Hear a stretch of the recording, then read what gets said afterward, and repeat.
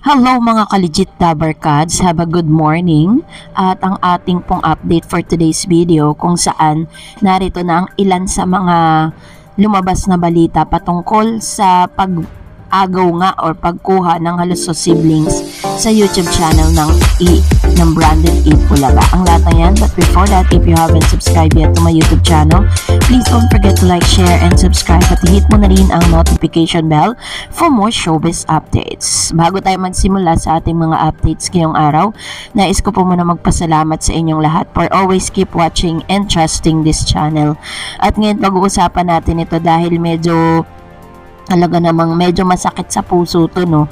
At ngayong kahapon nga po ay gumulantang isang balita kung saan ang official YouTube channel ng Itbulaga ay nabawi na ng mga halusos mula sa TBJ ilan sa mga katanungan nga na nakabinbin ngayon kung paano nga nila nabawi kasi wala naman pong official na statement na nagmula po sa TBJ or sa legal counsel di umano ng uh, nito pong nasabing uh, generic bulaga or ng tape incorporated na official na nakuha na nila or nabawi na nila ang official YouTube channel ng branded Eat Bulaga. So, isa sa mga kadahilanan kung bakit hindi nila ina-announce ng ang pagbawi nila dito dahil may possibility na baka mamaya i-report or mag-unsubscribe ang karamihan na ngayon ay nangyayari na.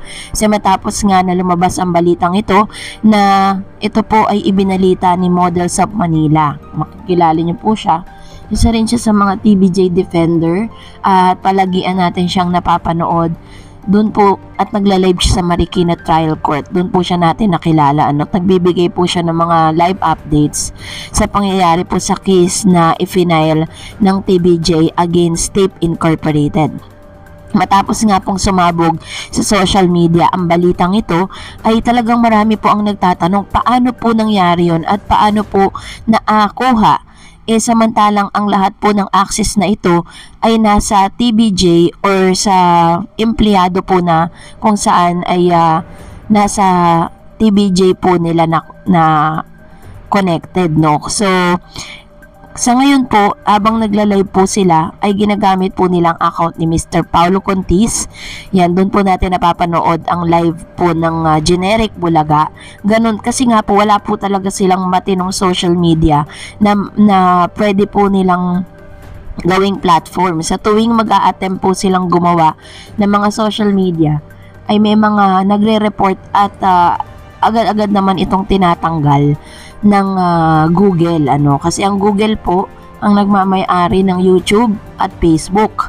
Ganon din naman ang account po ni Mr. Esco Moreno na may 5.6 million followers ay uh, ginagamit din sa pagla-live po ng tape. Pero sa ngayon, kapag po bumisita kayo sa kanilang live, ang ginagamit po nila ngayon yung kanilang official YouTube or official Facebook account na Tape Incorporated na magtataka ka kung bakit po sila nagkaroon ng Facebook, no? Eh, kakaumpisa pa lang nila. Malamang po yan or marami po ang uh, nag-imbestiga na ito po ay binili nila binili nila itong isang account na ito kaya po parang may subscribers na siyang ready no? Pwede po kasi yung ganun eh. Magagamit niyo po yan at ma-access kapag nakabili kayo ng isang YouTube or Facebook account. At ganoon din naman syempre para po talaga maging legal ang lahat eh tuluyan ng in-evacuate ng TBJ yung kanilang official YouTube channel na may 5.3 million subscribers. Pero ngayon gumawa sila ng sarili nilang YouTube channel na one, mayroong 1.6 million followers at dito po ay nagla-live sila araw-araw kasabay ng pagla-live sa TV5 Philippines official YouTube channel. So, ang pinagtataka ng maraming netizen at mga legit dabarkads, paano nabawi paano po or wag nating sabihin yung word na nabawi kasi parang pag sinabi natin yung word na nabawi eh parang sa kanila yon na inagaw ng TBJ paano nila nakuha? 'di ba? So may mga possibility at may mga ways no bilang isang vlogger paano ma-access no kahit na kasi ma-access mo lang isang YouTube channel o isang email account pag meron po kayong access at meron po kayong uh, tinatawag na password ano makukuha nyo na agad yan. Ngayon syempre dahil po alam nyo na may legal counsel po yan. Ginagamitan po nila ng makinarya ginagamitan nila ng pera para at least makuha nila yung gusto nila. So parang by hook or by crook kailangan nila makuha ito. Ang tanong lang dahil matapos nga nilang makuha po itong YouTube channel na ito, marami na pong mga Idiot Dabber Cats ang nakabalita patungkol dito na nag-unsubscribe. Maging dito po sa YouTube channel natin, eh, may mga nagko-comment po dito na parang in-unsubscribe na po nila yung YouTube channel na ito ng, uh, ng branded Eat Bulaga. So, ganun na lang po yung pwedeng gawin. Pero, narito naman ang ilang video at statement po ni Mr. Models of Manila, isang YouTube channel or isang vlogger po na nagsasabi kung paano nakuha, no? So, pakinggan po natin ito. Ay nabawi na daw ng Tape Incorporated. So pag-usapan po natin 'yan kasi ito guys ha, sa totoo lang under attack yung uh, EAT. Talagang kaliwat kanan po ang ang atake at yan. Basta muna tayo ng comments ha. Judy Dominguez, hello Mr. Peace. Paano kaya nabawi? Tanong niya. Hinak siguro nila nung walang formal statement yung tape sabi ni Mr. Peace. Pag-usapan na natin, sige, itong sa YouTube. Nakita ko lang siya mga 30 minutes ago. Hindi ko nga napapansin eh. Sa post ni Board Productive. Okay? Um, pumunta ako kaagad dito sa site ng Itbulaga. Um, wala pang kahit anong post sa community tab. Wala pa 4 months ago. Yung live 4 months ago, 3 months ago, shorts, wala pa rin yung short. Si Alden Richards pa dito yung short. So mga luma pang luma pang post lahat. Ito po yung 5 million na YouTube ng uh, Eat Bulaga, ng original na Eat Bulaga. Okay? Kung po, titignan mo nga dito, yung pong mga nakalagay na Facebook, Twitter, Instagram, TikTok, lahat po yan ay uh, I, I think wala pa sa control ng tape. Yung mga Facebook dito, yung mga Twitter, ang nangyari po kasi, after umalis ng uh, legit Tabarkad sa GMA7, hindi na nila ginalaw yung pong mga social media, yung mga YouTube, yung mga Facebook. Bakit hindi nila ginalaw? Kasi posible po itong panggalingan na naman ng mga kaso, ng mga uh, demandahan. So, naging maingat po yung pong TVJ. Gumawa na lang ng sariling TVJ na YouTube, Facebook at lahat ng yan. At hindi po ginalaw ito pong mga accounts na ito. O pero ngayon po, uh, it looks as though yung po nakalagay sa banner ng uh, Eat Bulaga na YouTube channel ay tahanang pinakamasaya. Yan, Eat Bulaga Television and Production Exponents Incorporated o yung pong tape Incorporated. Yan. Pero aside from that, aside dito sa sa profile picture at sa banner, wala pa pong ginagalaw yung tape dito. Yung YouTube kanina napansin ko kay Yorme Isko pa rin. So ang tanong ng marami, paano kaya ito nakuha?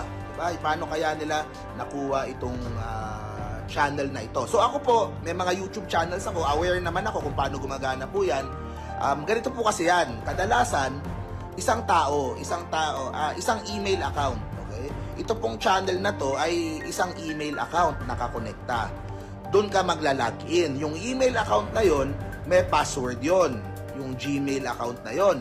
So may password yon. Ang password malamang na alam nalalaman ito ni Ma'am Jenny Ferre, tingin ko.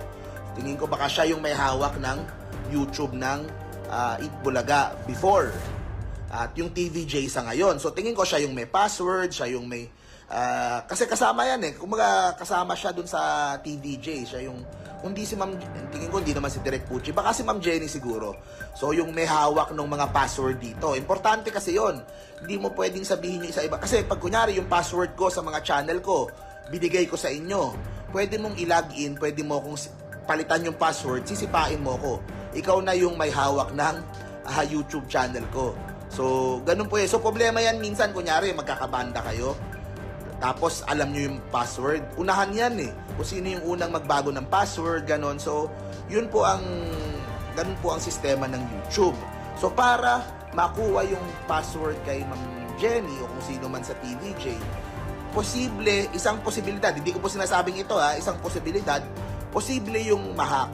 Posible po yon Nang, nangyayari po yon Kunyari, gustong kunin yung, kasi may mga kaibigan po ako, may malalaking mga accounts, nakahack po sila. Ang nangyayari, mahahack yung account nila, makukuha yung channel, buburahin yung mga videos, pagtingin nila, ano na, Pakistani na yung ano, Bangladesh na yung, yung channel nila, nawala na. Pwede po nilang ma-recover yon sa Google Philippines o kaya sa Google Singapore. Google po kasi ang may-ari ng YouTube. Okay, so ang main office nila, Southeast Asia, sa Singapore. Yung pong kita na galing sa sa Google nanggagaling sa Singapore. So doon pwedeng ireklamo. So ma posible ba yung nahack? Posible po 'yon. Posible yung posible yung ano, nakuha na nagawa nila ng paraan para sa password para makuha po ito pong channel. Posible yun. Isa pang posibilidad. Ito po, hindi natin kasi alam hanggat wala pa silang official statement. Posible din naman nakipag-usap sila sa Google, sa Google Philippines, sa Google Singapore. Ni-request po nila na yan po ay pag-aari ng aming korporasyon. Yan po ay ah, ninakaw ng aming ah, empleyado dati. Ganun nila sasab ganito nila sasabihin ha pag nagsulat sila sa Google ha. Yan po ay tinangay ng aming empleyado dati nung umalis sila. Umal nag-resign sila nung